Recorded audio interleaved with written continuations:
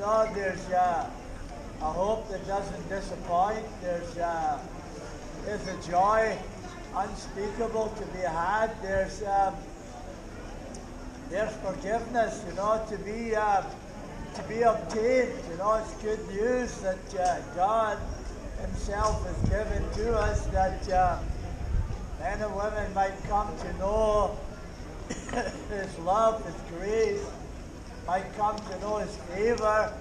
It's not what any of us deserve, you know, we don't. We deserve nothing but the bad news, you know, but, uh, but the good news comes to you today here in West Brom that you might believe it and that you might be, you know, brought back to God, you know, because the problem is, you know, that entire human race has wandered, and know, strayed from God. We all, like sheep, have gone astray. The Bible says, you know, and we need to be brought back to God. And God has sent His good shepherd to bring His sheep back to Him. And hearing the good news that they might believe and be saved. Got a copy here of God's Word. Mark of John's Gospel extracts from the Bible. It's only place where you find God's Word, don't you know? Nowhere else. Uh, like a copy, offered to you free, you know, no cost, no obligation to you. If you'd like one, do feel free to come and ask for one. Freely offered, freely received. It's just like, you know, like the Savior himself, you know, you you receive God's word, you know, you take it just as it's um, presented to you, you know, and on the same fashion, you know, as we as we set forth the Savior before you, simply receive Him. How you doing, guys? Have a good day. You have a good day. Whoever shall call on the name of the Lord shall be saved. Yeah, that's right, Jesus. Yeah. That's God's word, read? Well, it seems to me like, you know, there's only one God, you know, there can't be two. It can't be Different way of following it. Again? Different way of following it. It's, it's um, you know, to me, like, you know, the, the, the answer is not so much religion, you know, but Jesus the person. Son of God, you see, because the thing is, you know, that there's no forgiveness in any other name. And, um, you know, the, the, the the proof is in the power. You know, what it does for you. So you got someone said, comes to me and say they got another religion, I say, well, okay, well tell me, what's your religion doing for you? Does it make you a better, does it make you a better person? Does it make you a kinder person? Um, is it bringing forgiveness to you for your sins? Is it changing your life, transforming your life? Because all these things are the things that Jesus done. Now somebody's got a religion, a dead religion, it doesn't do none of those things for them. I say, well, maybe you need to look somewhere else. So all I'm saying is, you know, that Jesus, He's the answer, like, you know, He's the Lord. Do you, believe in the Holy Trinity? I do say yes. God the Father, God the Son, God the Holy Spirit. No, but then how can it be three gods in it? No, no, no, no, no. Three persons, three persons, but one God. Okay? No one seen God uh, no, that's right, that's right. Bible, you're right. You're right. Bible says that. No man shall ever see God in.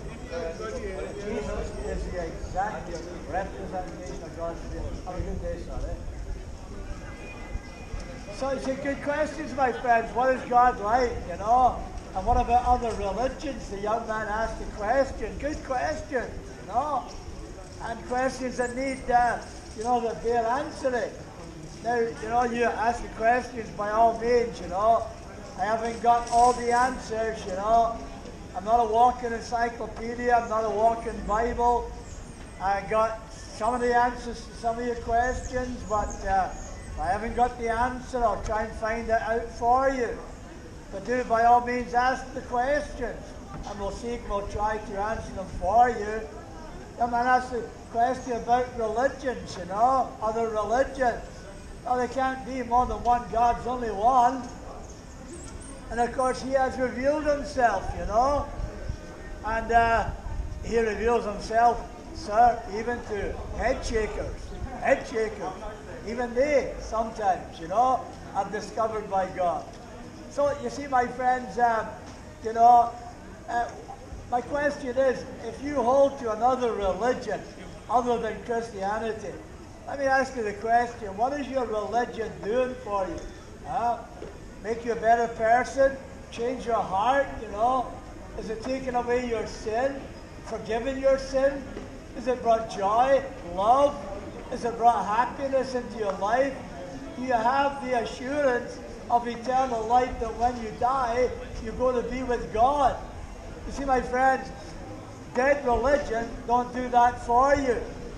And most, uh, well, most, all of the religions of the world, every one of them, my friends, without exception, you know, that's what they are, just dead religions, you know, invented by men, men like Muhammad, you know.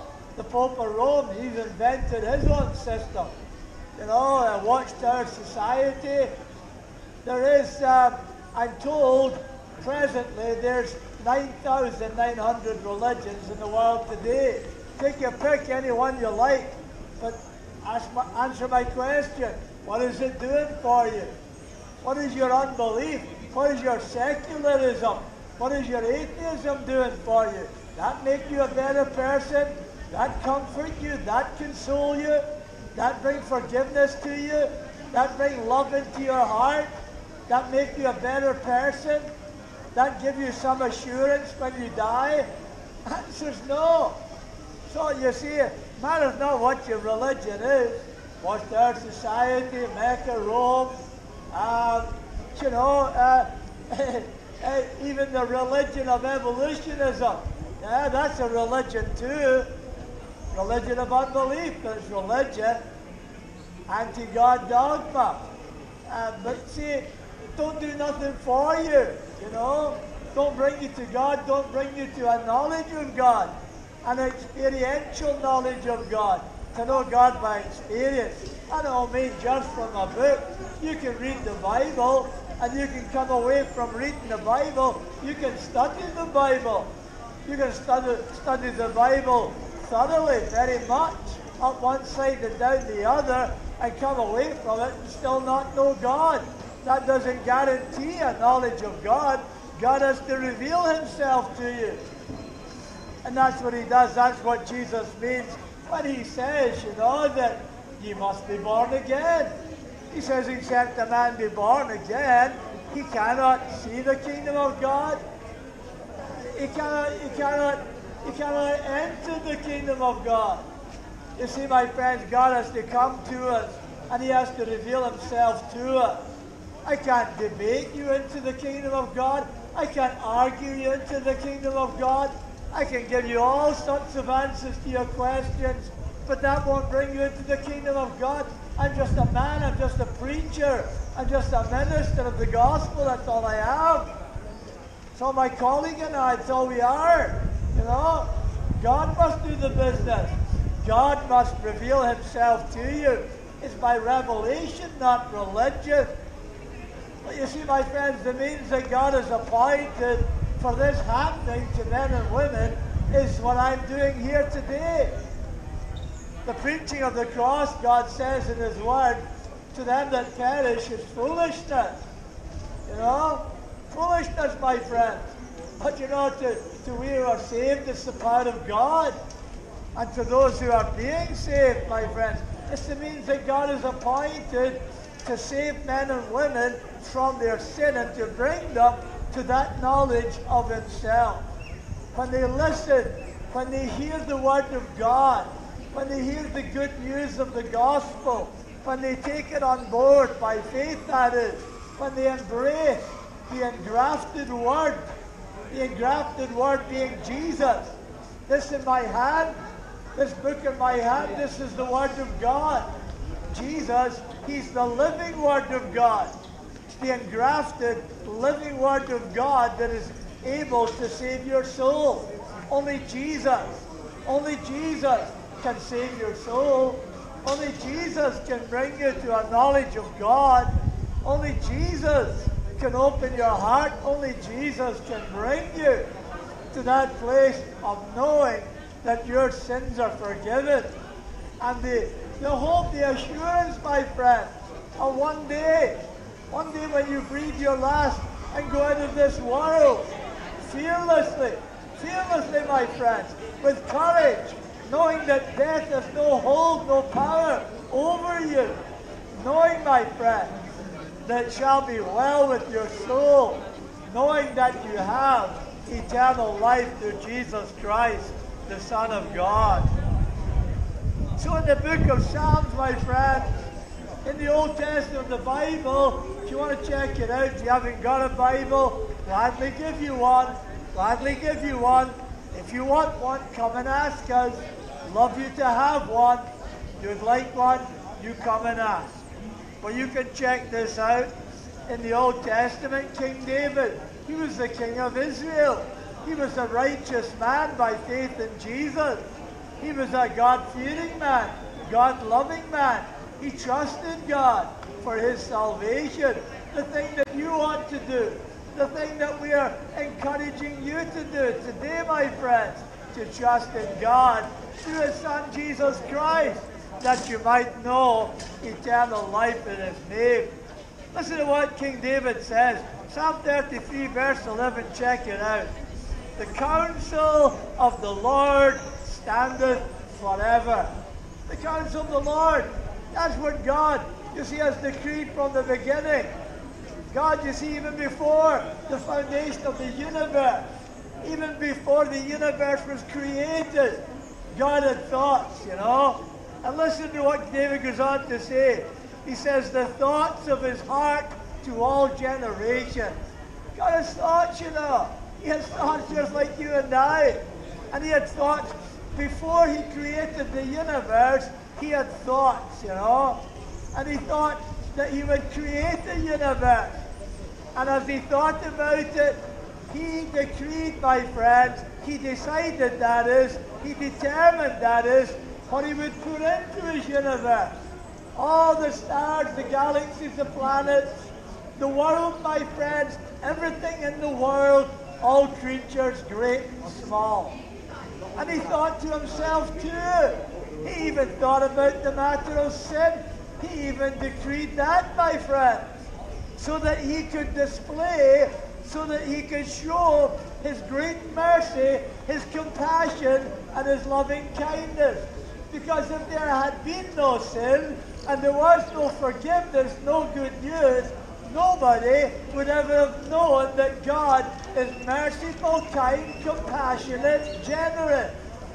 Or we'd known, we might have known that God was powerful, almighty, able to do all kinds of things, but we would never, if there had never been sin, and if there was never forgiveness for nobody, my friends, nobody would ever have known what God is truly and really and essentially like. A forgiving God, a pardoning God, a merciful God, a God of great kindness. I tell you, if you take nothing away today from this, take this away and remember.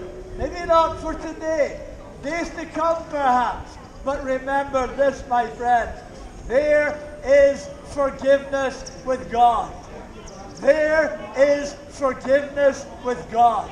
Remember that, because that's the heart of the gospel. That's the counsel of God, my friends. And it stands forever, says David. Stands forever. There is forgiveness with God. There's a way back to God from the dark, dark, dark path of sin. There's a way, my friends. And Jesus says, I am the way. The only way, my friends. No one gets back to God. No one gets right with God. No one comes to the Father, he says, but by me. Only, my friends, only through Jesus. the counsel of God that standeth forever. That God has decreed a universe. God has decreed humankind. God has decreed the fact of sin. And so, for you to say that you're not a sinner, that you don't need God's forgiveness, is absolutely ludicrous. Because in the counsel of God, sin is, my friend, sin is, undeniably. But there is forgiveness with God in the counsel of God too.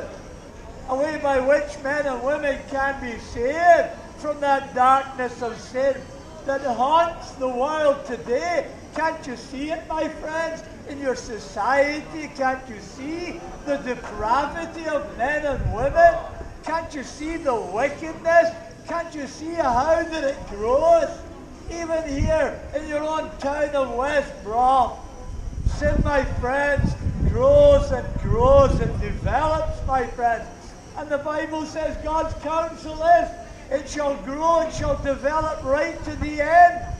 And then when the cup is filled up, you see, the cup of sin is filled up, then the end will come and God will bring the judgment, the final judgment upon humankind for sin. But my friends, there's a way to escape that. There's a way by which you get a pass on the day of judgment. And God's counsel is that if you trust in my Son Jesus Christ, you get a pass on that day. You get a free pass on that day. You can't pay for it. You can't be religious for it. You can't do anything for it. You must trust God for it. You must believe in Jesus for it. No other way, my friend. Only believing. Only believing.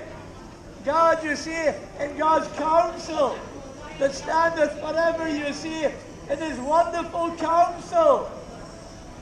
He decided, he thought, this is what I'll do. I'll send my only begotten Son. I'll send my Son into the world to rescue some of those sinners. Not all of them. Not all of them, my friends. Not everybody gets saved. Not everybody comes to Jesus. Not everybody gets the pass in the day of judgment. In fact, the majority don't. Only a few there be that be saved, my friends. Those who believe, those who trust in Jesus, those whom God saves, those whom God reveals himself to, and those whom God gives all the precious, precious gift of faith to, to be able to believe on the Son of God that they might be saved. That's how you get a pass on the day of judgment, my friend. Believing, trusting in God's Son. He thought he would send his Son Jesus into the world to be a mediator, you know, to stand between us and God, to reconcile us to God, you see? That we might be friends with God, if I might put it that way. You know? Instead of what we are, enemies of God. That's what the Bible says, you see that there is enmity, enmity in your mind, hostility in your mind against God. Why, of course, the Bible says that you cannot, you cannot be subject to the law of God, cannot obey the law of God as you should. The very opposite. You're contrary to God in your natures and contrary to God in your practice. Lawless. That's what sin is, my friends lawlessness. And my friends, that ought to be evident to you now in your society, in your world today. It abounds everywhere. Everywhere, my friend. But it's because of that enmity, that hostility in your heart, your mind against God. Enemies of God. It's how we come into the world, you see. Conceived in sin, born in sin, live in sin, and die in sin and go to the judgment of God, my friends, in your sin, in a damn-worthy state and condition. Unless by the grace of God, unless by the grace of God, through the preaching of the gospel, God reveals himself to you. God reconciles you to himself.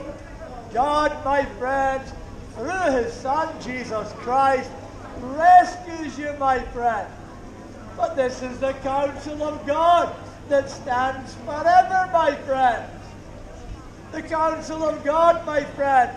Before the foundation of the world, God determined those who would believe, those whom He would save, those whom He would reconcile to Himself. Are you, are you one of those? Are you one? Are you one of? Are you one of the Son of God's sheep? My sheep, He says, they hear my voice. Are you hearing the voice of the shepherd? Are you hearing the voice of the Son of God? Not the voice of a man, not just the voice of a preacher. Are you hearing the voice of the mighty Son of God, the Good Shepherd, who gives eternal life, my friends, to his sheep?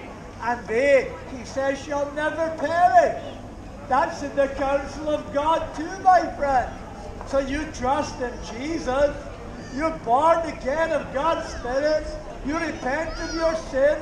You believe on the Lord Jesus Christ. And you have God's guarantee, my friend. God's assurance that you shall never perish. Because the counsel of God, it stands forever, my friend. It never changes. It's like God Himself. He says, I am the Lord. I change not. Bible New Testament says Jesus, the same yesterday and today and forever. And just as God, just as His Son is unchangeable, so is His counsel. So, my friend, so is His counsel in regard to His salvation. It is faultless, my friends. It is immovable. It is rock like. It is infinitely holy, just, and good. The promises of God, my friend, that which He has determined, nothing, I tell you, nothing, nothing can change it, and nothing can overcome it. All the plans and the schemes of men, governments, prime ministers, presidents, they plan all kinds of things.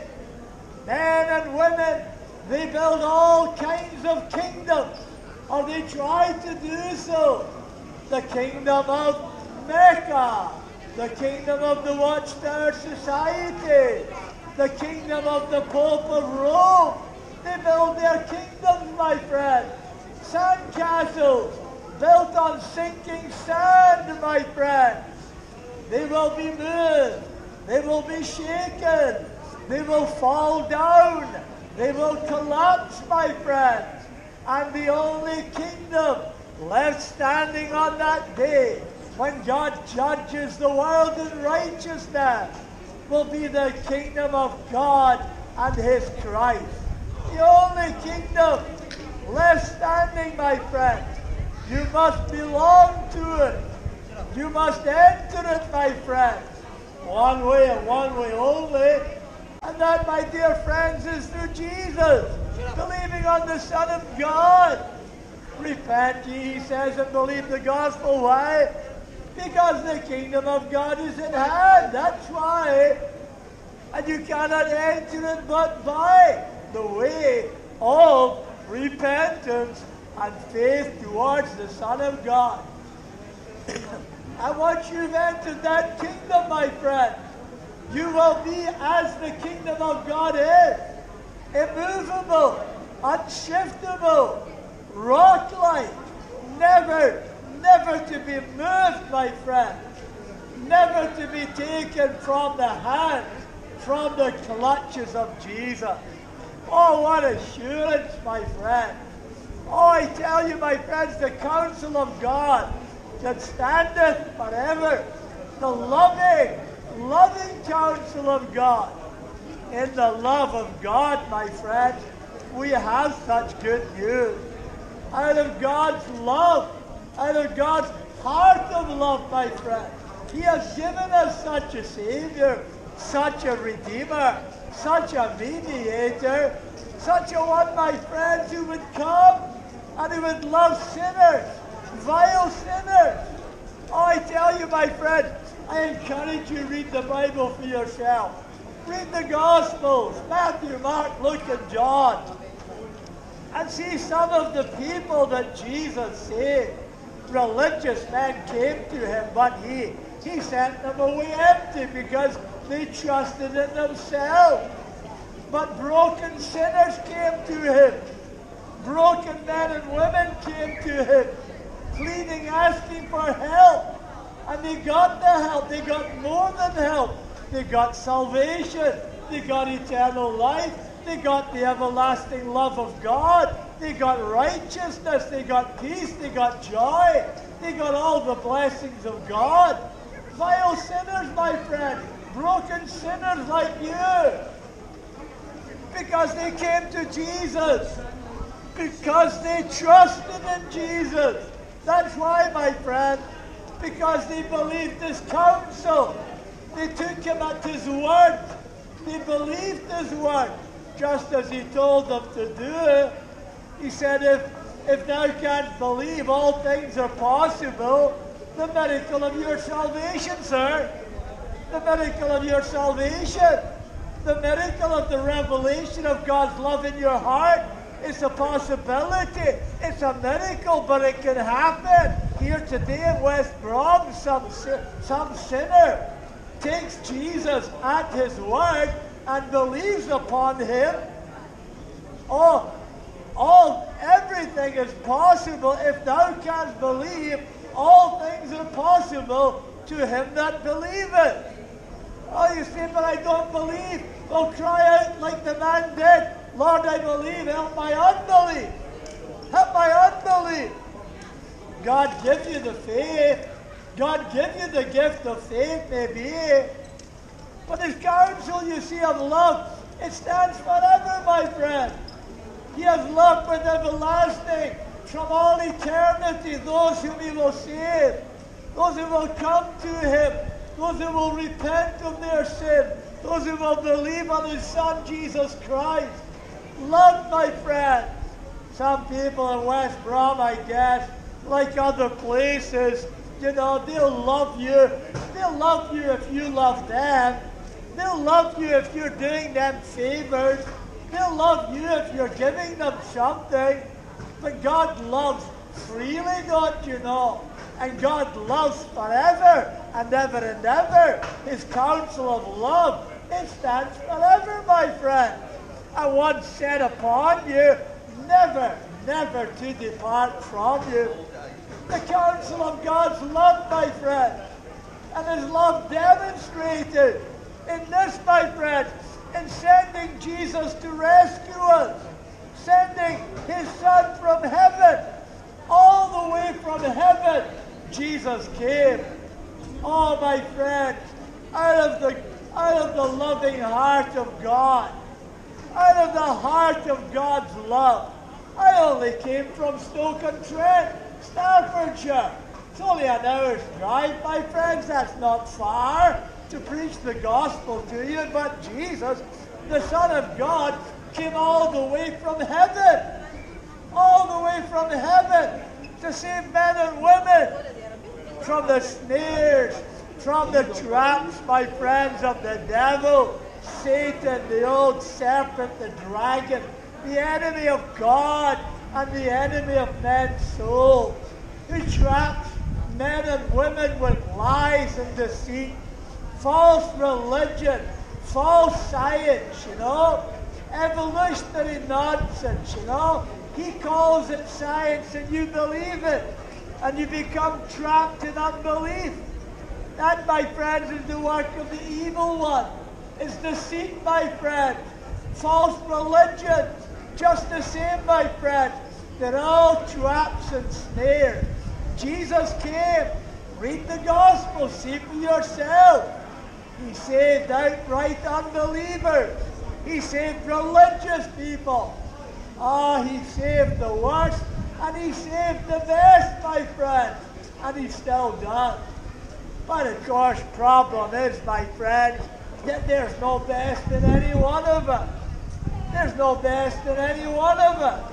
Maybe perhaps you would say to yourself, well, I'm a good person. Isn't that what the most of you would say? If I was to talk to you personally, you'd say I'm a good person. I'm not a sinner. I don't need God's forgiveness.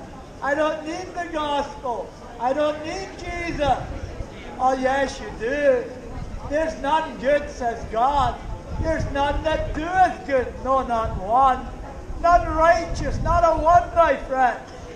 No, you're worse. Believe me, you're worse. Much, much worse. And even, my friend, even I can convey to you. Utterly and totally depraved, every single one of us. Born of a woman, conceived in sin in your mother's womb. That's when you became a sinner. That's when your sin life, your sin career began in your mother's womb.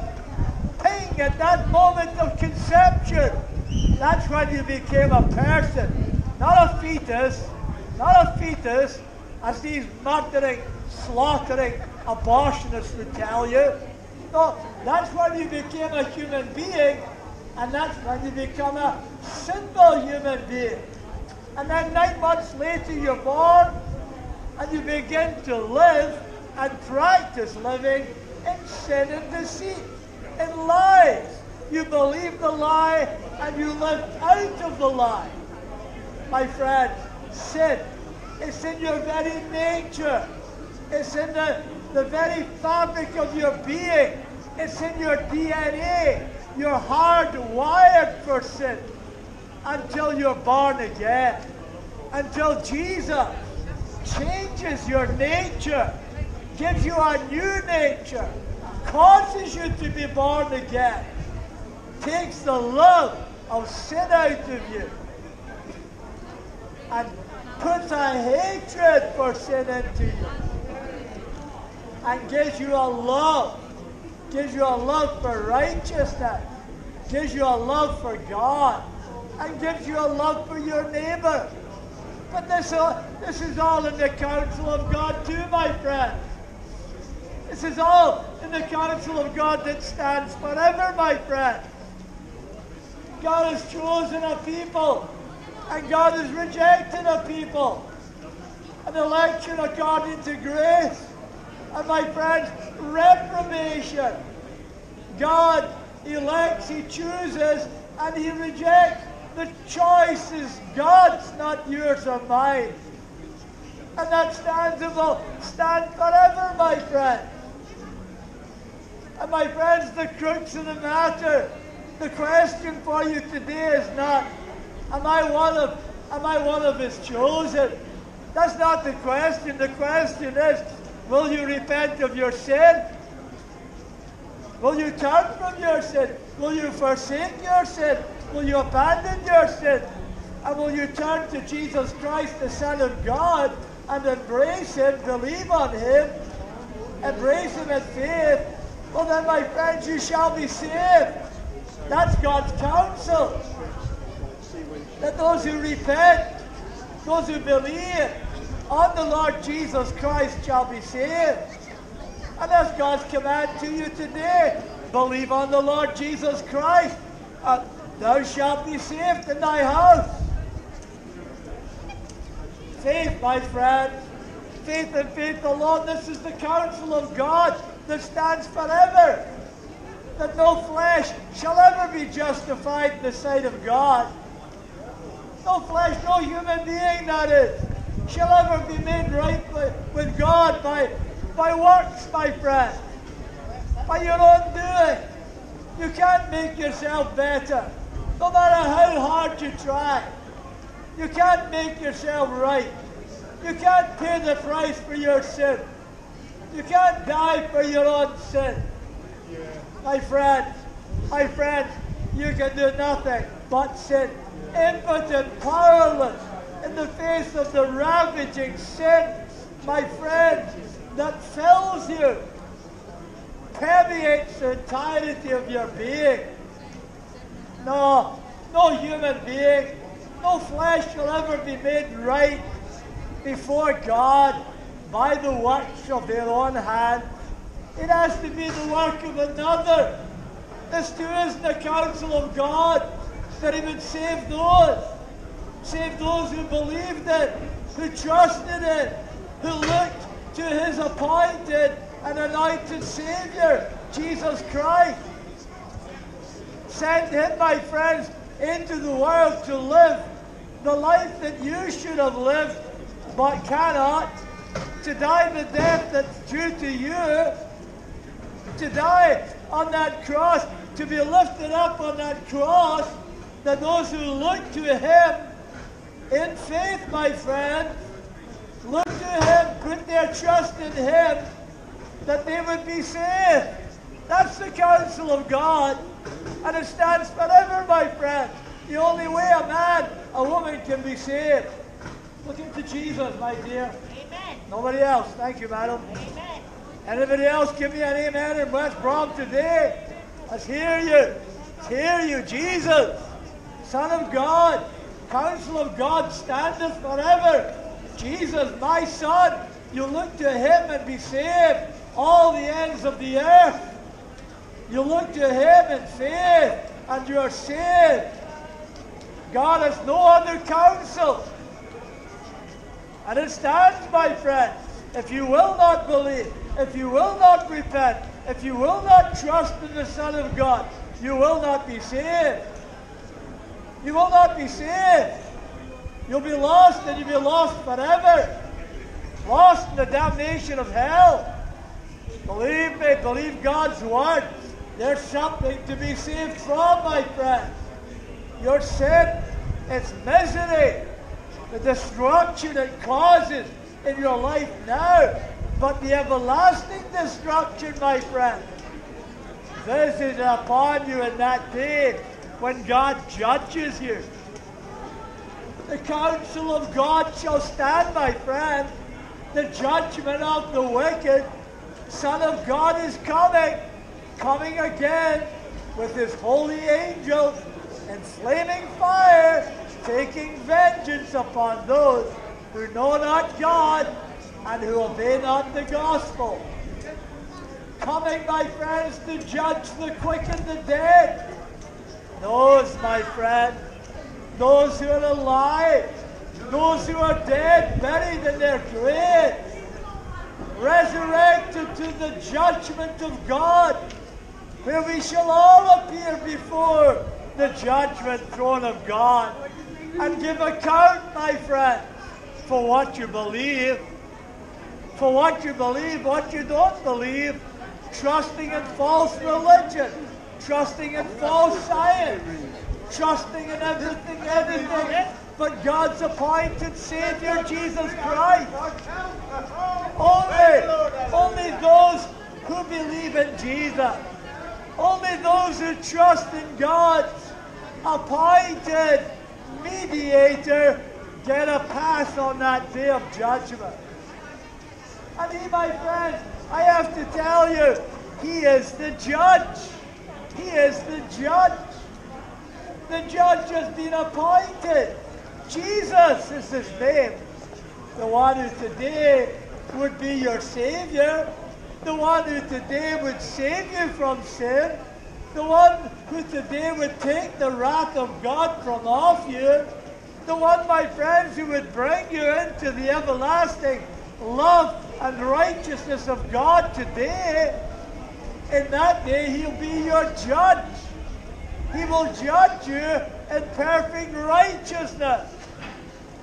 The judge has been appointed. The day has been appointed. We're not told when that day will be, but it's coming and coming soon. And you stand before God, my friend. You stand before Judge Jesus and you give account, my friend. He says, for every idle word that you've ever spoken, every idle word you've ever spoken, he says, you'll give account for it. Yeah. Every vile deed, every thought, every action, my friend, everything you ever did, did will be published across the universe for everybody to see and know. My friend, the judgment day. When you stand before Judge Jesus and you give account even for this day, this occasion, when you heard the gospel, when you heard the good news of the kingdom of God, when Christ was set forth before you, when you were told about the fact of your sin, when you were told about the forgiveness of God, when you were told about the love of God, when you were told about the righteousness of God, but you would not. You would have nothing. You would have nothing to do with the Savior. You rejected Him again. And maybe perhaps again and again and again and again. Until you're so hardened in your heart that you're impervious, impervious to the claims of the gospel. Until you're beyond redemption. Oh, don't let that happen to you. Don't let that happen to you, my friend. Now is the time, now is the accepted time, says God. Now is the day of salvation. Now is the time to get right with God. No time like the present, my friend. You haven't got tomorrow. You haven't got tomorrow. You haven't got next week. You haven't got your retirement. No guarantees, my friends, not at all. You don't know. You don't know what a single day may bring forth. As the COVID 19 arises again from the ashes, my friends, how many more will it take out of this world? COVID 19 has taken its thousands out of this world.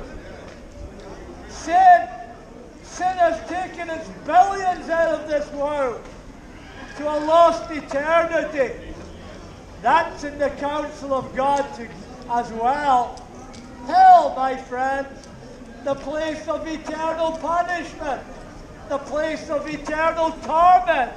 That's in the unchangeable counsel of God too. And that's the destination, my friends, of Christ rejecting sinners. That's the end.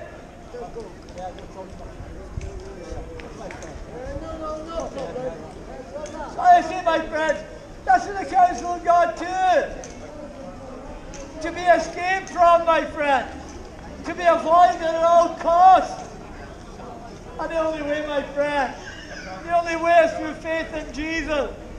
The only way you can escape that eternal torment, the only way you can escape the penalty is trusting in the one who took the penalty upon himself, who took the wrath of God, who took hell, endured hell in his own body on that cross, so that the sinner, my friend, the sinner who truly repents, the sinner who truly believes on Jesus, that punishment, my friend, that penalty for them is taken away. So far away, my friend. So far away that not even God Himself can find it. As far as the east is from the west, your sins removed forever by the blood of God's Son, by the blood of the eternal covenant. No other way back to God. No other way, my friends. One way only. I am the way, the truth, and the life. No man cometh unto the Father but by me. Neither is there salvation in none other name under heaven, the whole canopy of heaven, whereby we must be saved. Jesus. Jesus, J E S U S. Jesus is his name. Remember, West Brom, you heard it in this place.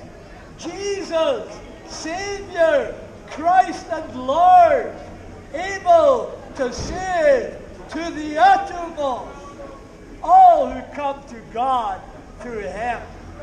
Believe, trust in the Lord Jesus Christ today. and you shall be saved. Repent ye and believe the gospel, for the kingdom of God is at hand. West Brom, repent ye and believe the gospel. Repent ye and believe the gospel, for the kingdom of God is at hand. Oh, you'd like a copy of God's Word? Gladly. God's counsel that stands forever. His written Word, my friend. You'd like a copy of God's Word? Freely offered, no cost, no obligation to you. You would like one, you come and ask for one.